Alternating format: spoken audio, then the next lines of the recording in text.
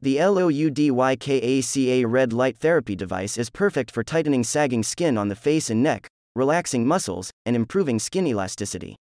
It can also help to reduce fine lines and wrinkles, clear pores, and enhance the effectiveness of your favorite skincare products.